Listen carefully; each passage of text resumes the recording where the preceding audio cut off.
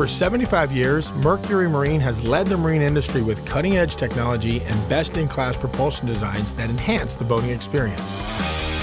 Mercury outboards range from 2.5 to 350 horsepower and are recognized as the most reliable and efficient in the industry, while MerCruiser sets the standard in performance and durability for stern drive units. Mercury is also the world's largest manufacturer of marine propellers, known globally for their performance, strength, and efficiency. And Mercury parts and accessories allow boaters to make the most of their time on the water. When it comes to propulsion, no one outperforms Mercury Marine. Hi, I'm Byron Velvick, member of the National Mercury Pro Team, and I'll be taking you inside Mercury Manufacturing to get a close-up look at the company, its products, and its people. Mercury was founded by Carl Kiekhaefer in Cedarburg, Wisconsin in 1939 before moving to the company's present-day location in Fond du Lac in 1946. A simple dairy farm in Fond du Lac was purchased by Kiekhaefer Marine and transformed into a contemporary manufacturing facility that has evolved into the 140-acre world headquarters of Mercury Marine. The manufacturing area today consists of approximately 2 million square feet of production space and stretches nearly a mile. The core of every Mercury engine starts here at Mercury's state-of-the-art foundry. This is where Mercury produces its exclusive, low copper, highly corrosion resistant aluminum alloy. This unique aluminum alloy is used to cast thousands of different parts that become essential elements of your reliable and durable Mercury engine. Up to 80% of a Mercury outboard's content is produced and machined right here. Mercury utilizes three main casting techniques traditional die casting, low pressure permanent mold, and pressurized lost foam casting. Each of these techniques requires Mercury to pour specially formulated molten aluminum alloy into the mold or casting. The method used is dependent on the part being cast. Mercury Marine is just one of a few companies in the world that has mastered the lost foam under pressure casting. Pressured, lost foam casting allows Mercury to produce sophisticated components that require fewer parts. The result is a lighter weight product with improved reliability. Styrofoam molds are glued to a frame so multiple pieces of the same part can be cast simultaneously. The form, like every part, is stamped with a serial number that can be tracked from here all the way to the transom of your boat. The patterns are dipped in an exclusive coating that creates a barrier between the foam and the synthetic sand used during the casting process. Once dry, the forms are fitted with a fill funnel and placed in a cast iron vat, which is then filled with more than a ton of fine synthetic sand called mullite. The first pour fills the various nooks and crannies of the part, which will keep the molten metal out, creating passages for cylinders and other sections of the future engine. The hot liquid metal instantly evaporates the foam mold, hence the name lost foam, while the aluminum conforms to the shape of the pattern. After 10 minutes, under 70 to 140 pounds of pressure per square inch, a cylinder head is born. The part is dipped into cool water, creating a steam explosion and removing burrs and debris from the casting. The sand that was used in the casting process is collected, cleaned, and recycled for future use. After basic machining, the first of nearly a dozen machining processes, the cylinder head is given its first of many quality tests. Technicians perform a leak flow test on all water and oil passages, assuring they hold both pressure and fluid. If the part fails here, it's scrapped and recycled. If it passes, it moves on to the mercury heat treat facility where the metal's strength and integrity are fortified. Machining is a vital step of the engine building process, Mercury Marine machinists using state-of-the-art computer-controlled tools finish iron and stainless steel components to exact specifications. While we wait for the cylinder head to return from the heat treat facility, let's check out the gear machining area. Quality gears are essential in providing the torque necessary to propel a boat. This gear will undergo a three-step machining process. Approximately 50 gears per hour will pass through this station, the process begins with trimming the gear surface, necessary for additional steps in the manufacturing process. Next, clutch teeth that are forged into the gear undergo a milling process. Drive shafts, prop shafts, shift shafts, and every part Mercury manufactures goes through similar machining operations. The number of steps for each part varies depending on the part's complexity. Lastly, the gear teeth are cut, and the finished piece is deburred and cleaned up. Most high-speed machining tools can perform more than one function at a time, and all of the cutting fluids, about 30 gallons a minute, are recirculated. Metal shavings left behind from the cutting and cleaning process are recycled within the facility. These Verado cylinder heads have just returned from the heat treat facility and are now ready for Mercury's extensive corrosion protection process. As you can imagine, marine engines spend their lives in environments that can create corrosion. Mercury engines are the most corrosion resistant in the industry. Let's take a look at why that's true. First, our cylinder undergoes a special iridite treatment process that provides a highly resistant corrosion barrier. Next, it's run through an epoxy painting process called electrode deposition paint, or EDP, which uses electrically charged paint and oppositely charged components to seal out the environment. Finally, Mercury's thicker, tougher powder paint is applied to key components. This paint is electrostatically charged and extra flexible for better long-term adhesion and protection from the sun's UV rays. On larger horsepower engines, Mercury coats the internal passageways with its exclusive Salt Shield, a chemical that provides unsurpassed resistance to saltwater exposure and heat. Now the parts are ready to be precision machined. The Mercury manufacturing floor is filled with different types of machining equipment, Several automated pieces of equipment are computer controlled. Cylinder heads are machined at this station. Multiple functions are completed by a single machine during each of the 10 steps of this process. Valve seats are counterbored and surfaces are shaved and smoothed to ensure a perfect fit and seal. Once again, leak tests are performed. After being tested and only after receiving the go-ahead, the cylinder head moves on for final assembly.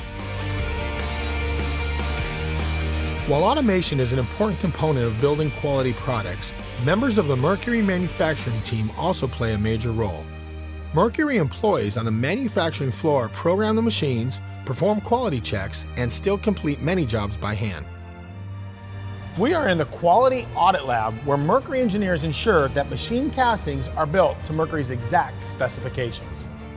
Technicians use a coordinating measuring machine to take hundreds of measurements for each part. In fact, about 2,000 parts per week are selected from the production line for testing here. These sophisticated devices are capable of incredibly precise measurements to within 40 millionths of an inch, equal to a diameter 100 times finer than a human hair.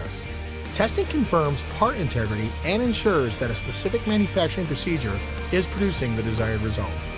In addition to random part verification, machines are used to measure individual components during new product development and they measure parts supplied by outside manufacturers. The components are sent to the main assembly lines for final assembly. Let's head down to the Verado assembly line to see exactly how all these parts are put together. First, intake and exhaust valves are installed on the cylinder head. Later, the pistons and connecting rod assemblies are installed into the engine block.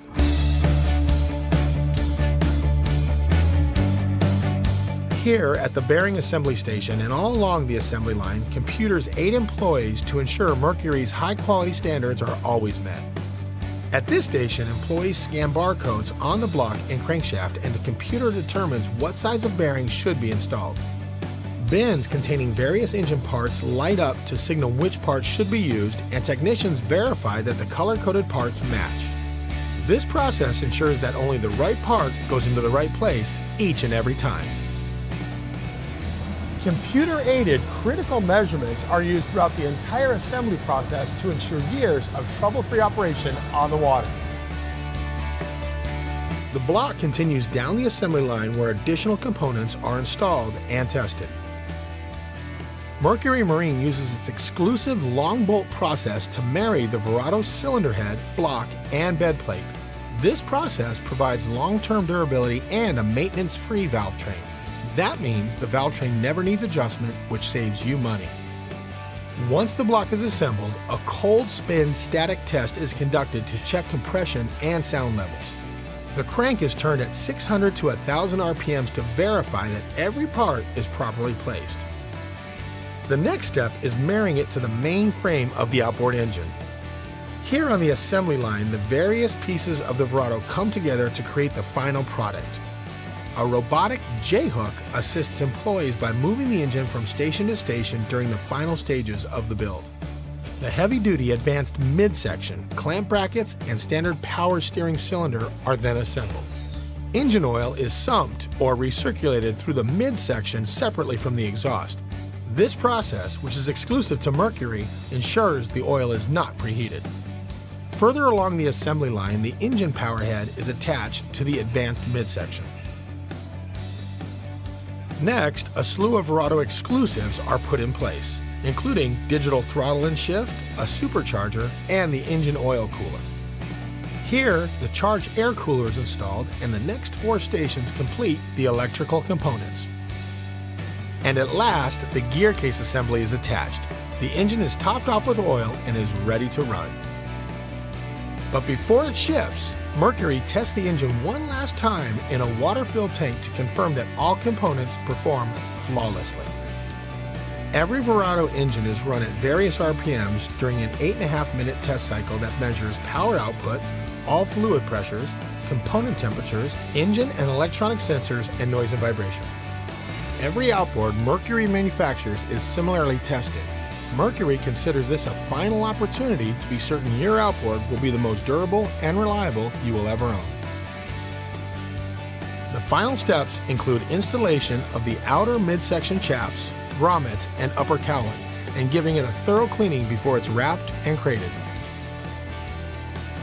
The outboard is now ready to be shipped to your local Mercury dealer or one of the many boat builders that choose Mercury to power their boats. That's Mercury's outboard story. But there's more to see here at the company's world headquarters in Fond du Lac, Wisconsin. Here, Mercury also manufactures its stern drive engines as well as its Alpha and Bravo drives in the same facility. The same attention to detail and quality control are built into every MerCruiser product that comes down the line. Let's take a quick look at the way MerCruiser's flagship 8.2 liter stern drive package is assembled. Once the long block is assembled, the engine heads for the first of two assembly lines where it is further marinized and prepped for painting. Robots make it easy to move the engine from station to station.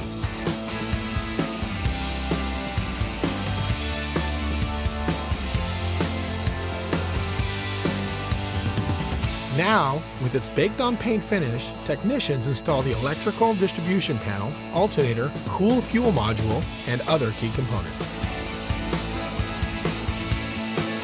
The engines are filled with oil and head for the test cells where they are attached to sophisticated testing equipment. During the series of tests, they also go through an accelerated break-in. Just like Mercury outboards, every MerCruiser engine is tested to ensure it runs flawlessly before it leaves the plant. The transom midsection will become part of the boat hull when it is installed. It connects the engine to the outer drive and propeller.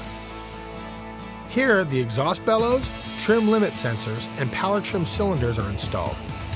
Electrical checks are also conducted during the bracket assembly. A stern drive unit consists of an engine and a drive. We visited an engine assembly line, now let's head over to the Alpha line to see how a drive is built. Much like we saw on the Verado line, computers aid in selecting the correct gear backlash to provide long-term durability. Once assembled, each drive is subjected to rigorous testing.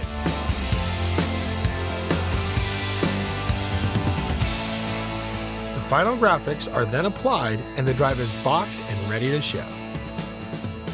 At Mercury Marine, our manufacturing is all about providing great marine propulsion, which in turn gives you a fantastic boating experience. Thank you for joining me on this trip through Mercury Marine. We'll see you on the water.